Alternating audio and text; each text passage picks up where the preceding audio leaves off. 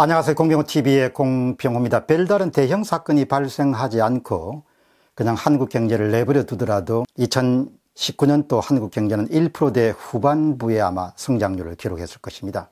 미중 경제 전쟁으로 인한 대외 무역 환경의 악화, 또 자체적으로 거듭된 경제 정책의 실패로 한국 경제는 이미 어두컴컴한 그런 상태였습니다. 근데 앞으로 상황이 나빠지면 나빠졌지 좋아질 가능성은 별로 없는 상황이었습니다.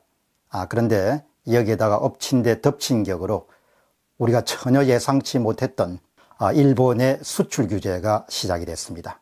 7월 18일 날 제3국 중재위원회 구성에 대한 한국 측의 아, 거부가 밝혀진 다음 날 바로 고노 일본 외상이 남감교 주일 대사를 아, 일본 외무성으로 불러 다음에 주고받는 아주 거친 발언들을 보면서 앞으로 어떤 상황이 닥치게 될지를 예상하게 됩니다.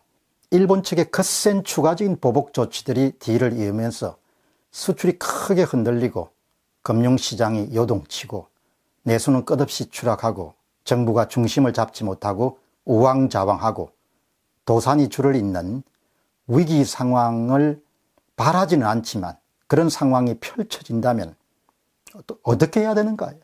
난세에 어떻게 살아남아야 되는가? 오늘 이 주제를 다뤄보도록 하겠습니다. 개인이 난세에 살아남는 법, 한 걸음 나아서 나아가 개인이 난세에 승리하는 법을 생각해 보겠습니다. 첫 번째입니다. Perfect storm을 가정한다. Perfect storm은 둘 이상의 태풍이 충돌해서 그 영향력이 폭발력으로 커지는 현상을 이야기합니다. 특정 분야에서 좋지 못한 요소들이 겹쳐서 최악의 상황이 닥치는 것을 우리가 흔히 퍼펙트 스톰이다 이렇게 부릅니다. 이미 휘청거리던 한국 경제는 일본 보복이 겹치면서 최악의 상황이 펼쳐지게 될 가능성이 높습니다. 아주 높습니다. 어떤 것을 예상하는 것은 선택하는 것입니다. 미래를 가정하는 일은 100% 완벽할 수 없습니다. 그러나 우리가 발생 가능한 위험을 내다보고 그 부분에 대비하는 것은 대단히 중요한 일입니다. 두 번째입니다. Contingency plan, 비상계획을 수립한다. Contingency plan은 그야말로 비상한 상황이 발생했을 때 그 비상한 상황이 초래할 수 있는 위험을 예상하고 그것을 적극적으로 위험을 관리해 가는 것을 지칭할 때 사용하는 말입니다. 위기 상황 발생 가능성이 크게 높아지거나 그런 상황이 발생하였을 때 생각이 정리되어 있고 계획이 써 있는 사람과 생각이 정리되지 않고 계획이 서 있지 않은 사람 사이에는 엄청나게 큰 차이가 발생하게 됩니다. 최악의 상황, 상황이 서서히 악화되는 상황, 보통 상황 세 가지로 우리가 가정을 해보면 되겠습니다. 이 세 가지가 펼쳐지게 되면 각각의 상황이 우리의 삶과 생활과 사업에 미치는 영향, 영향을 우선 노트 위에 차근차근 정리해 볼 필요가 있습니다. 그리고 각각의 상황에서 자신이 동원할 수 있는 대책과 해법을 정리해 보는 것도 대단히 유용한 방법일 것입니다. 다시 이야기하면 발생 가능한 상황, 그 다음에 그것에 대한 영향, 그리고 그것에 대한 대책, 이 세 가지를 세트로 예, 세 가지 시나리오를 적는 겁니다. 세 번째입니다. 우선적으로 수입원을 점검한다. 수입의 소스를 점검한다. 체크한다. 위기 상황은 단도직적으로 이야기하면 수입이 들어오는 원천이 엉망정창이 될 정도로 흔들리는 것 같답니다. 그래도 회사 생활을 하는 사람이라면 위기 상황이 발생했을 때 1차 방어선이 있습니다. 그건 조직이죠. 예, 조직을 움직이는 사람들이 힘들겠지만 조직이 1차 방어선이 되기 때문에 파고를 한 차례 막아줍니다. 그러나 개인은 충격으로부터 상대적으로 보호를 받을 수가 있습니다. 하지만 크고 작은 조직의 오나 소유주이거나 자영업을 하는 사람들이라면 수입은 급감, 매출 급감이라는 상황에 아무런 방어방이 없는 것이 사실입니다. 그대로 한파를 맞게 되는 시입니다. 그대로 파도를 뒤집어 쓰게 되는 겁니다. 매출이 빠른 속도로 내리막길을 긋거나 내리꽂히듯이 매출이 추락하는 상황이 당신을 극복할 수 있는 방법을 갖고 있습니까? 이것이 굉장히 중요한 질문이죠.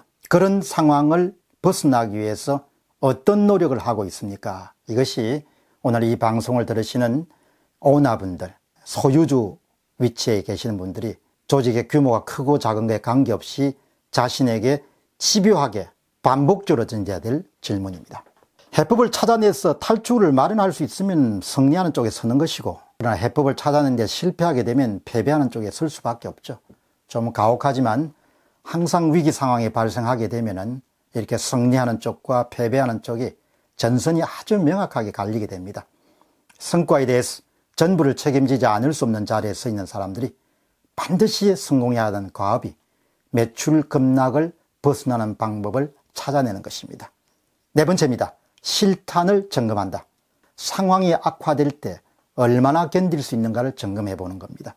당연히 비용이나 지출을 꼼꼼히 다져서 불효 불급한 당장 필요하지 않은 경비를 경비 지출을 철저하게 줄이는 것이죠. 고정비 성격의 지출을 선제적으로 조정하고 엄격하게 관리하는 것은 위기 관리에서 필수적입니다. 비용 구조를 조정을 하는 것은 방어적인 조치지만 문제를 근원적으로 해결할 수 있는 방법은 아닙니다. 그렇기 때문에 항상 우리가 비용 지출에 대한 부분을 과감하게 정리정돈해 나가실 때 이것은 위기 탈출의 보조적인 방법에 지나지 않는다. 필수적으로 해야 될 거지만 보조적인 방법이기 때문에 반드시 다른 그런 방법이 또 다른 해법이 더해질 때 승리하는 쪽에 설 수 있다는 점을 여러분 염두에 두시기 바랍니다.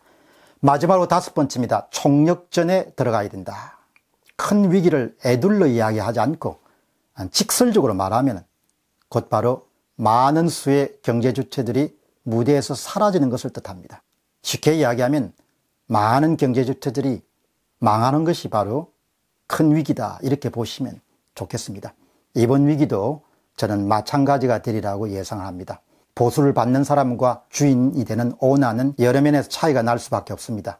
보수를 받는 사람들은 부분을 책임지는 사람입니다. 그러나 오나들은 전부를 책임져야 됩니다. 그 두 부류의 사람 사이에는 큰 차이와 간격이 있습니다.